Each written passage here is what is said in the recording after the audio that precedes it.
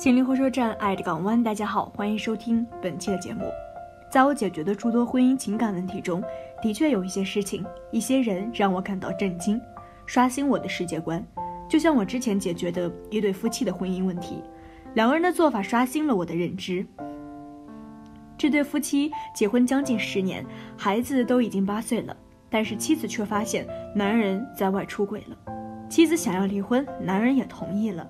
但是在离婚财产上却产生了分歧，男人坚持要平分，但是通过法院判决，女人分到了大部分财产，但是男人不同意，两个人开始纠缠，最后两个人做出了一个让我看来十分荒唐的决定：离婚不离家。顾名思义，两个人在法律上已经不是夫妻了，但是却仍然生活在一起。男人是为了财产问题，女人则是为了孩子。孩子还小，两个人决定先瞒着孩子，但是这个样子两个人生活在一起会很别扭。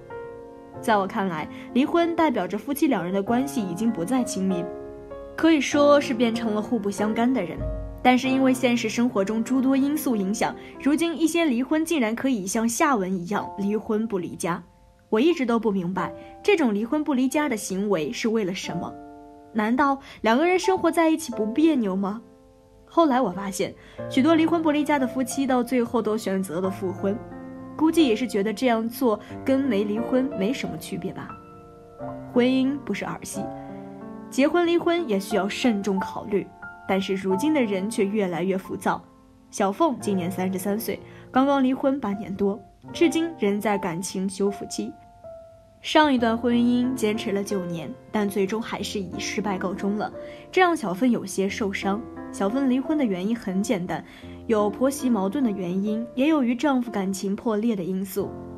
压死骆驼最后一根稻草的就是小芬发现丈夫竟然在和别的女人搞暧昧，虽然并没有出轨，但是对于小凤来说也是不可原谅的。小凤与前夫王家结婚的时候，王家还是一个一无所有的穷小子，他来自农村，全家人合力把他轰了出去。大家知道。王家其实就是现在所说的凤凰男，但是那个时候年轻，根本分不清男人的好坏，只知道自己喜欢就要嫁给他。小凤嫁给了一穷二白的王家，两个人的婚礼都是十分简单的，没有房子，也没有彩礼。结婚后就住在王家租的一间不足五十平米的小房子里面，家里的一切都要靠两个人自己奋斗。但是那时候小凤根本不后悔，她的心思全部都扑在了王家身上。王家要他做什么，他都会去做。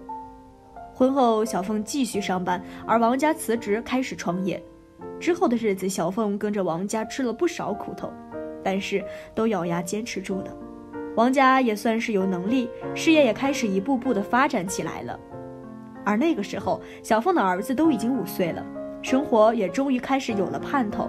要知道，小凤一边照顾家，一边工作，还要隔三差五的接待王家老家的一些亲戚朋友，身心都很疲惫。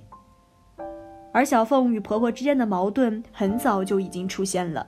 早在小凤怀孕那年，她与婆婆就已经出现了矛盾。那时候小凤怀孕，王家就把母亲从老家接过来照顾她。可是婆婆的到来，并没有照顾小凤，反而开始挑剔小凤。婆婆认为自己儿子这么优秀，小凤有些配不上他，而且小凤只是怀个孕就要自己过来照顾，又不是大不了的事情。婆婆那时候经常说：“不就是怀个孕吗？娇气什么？当初我怀我儿子的时候还下地干活呢，怎么到你这儿还要别人照顾？”面对婆婆的挑衅，小凤刚开始选择隐忍，可是到后来却发现婆婆就是那种欺软怕硬、无理取闹的农村泼妇。于是，小凤对她也开始不客气了，婆媳之间的矛盾越来越深，争吵的次数也越来越多。而作为丈夫的王家是选择了逃避，他两不相帮，任由两个女人在家里吵翻天。小凤生下孩子后，就把婆婆赶回老家了，因为那个时候两个人只要相处不到五分钟，就会发生争吵。随着王家的事业越做越好，两个人的生活也有了很大的改观。小凤也不需要去工作赚钱了，王家完全可以养活她和孩子。小凤觉得之前受的苦都是值得的，自己终于苦尽甘来了。倒是婆婆那边看到儿子发达了，于是开始向儿子索要生活费。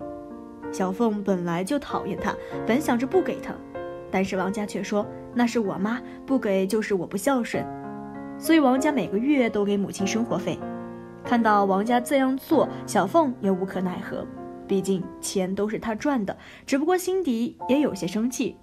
但是随着时间的流逝，小凤发现王家对自己越来越冷淡了，态度也越来越不耐烦。夫妻俩平日里在家里根本说不上几句话，大多数都讨论关于孩子的事情。丈夫态度的冷淡也让小凤开始疑神疑鬼起来。她开始监视王家，像大部分女人一样监视所有接近王家的其他女人。那时候本来王家是没有事情的。但是被小凤这么一搞，王家的心情顿时很差，经常与小凤发生争吵，夫妻俩的感情直线下降。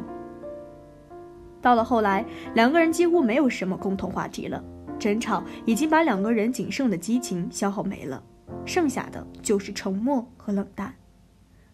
不知道从什么时候开始，王家和小凤开始分居睡，而且两个人也没有觉得有任何的不适，争吵也变少了。不是因为和好，而是因为觉得懒得吵。再到最后，小芬发现王家手机里和一个女人暧昧聊天的信息。她拿着手机质问王家的时候，王家出奇的冷静，大方的向她诉说了事实。他和这个女人只是在搞暧昧，并没有发生实质性的关系。王家的态度让小凤觉得他无所谓，无所谓和这个女人搞暧昧，也无所谓让妻子知道这件事儿。这种态度让小凤心寒了。小凤思前想后，提出了离婚，王家也同意了。但是财产分割上出现了问题，两个人都争执不下。于是两个人决定先把离婚证办了，但是不分家。小凤为了孩子同意了，但是她实在无法继续和王家住在一起了，于是带着孩子回到了娘家。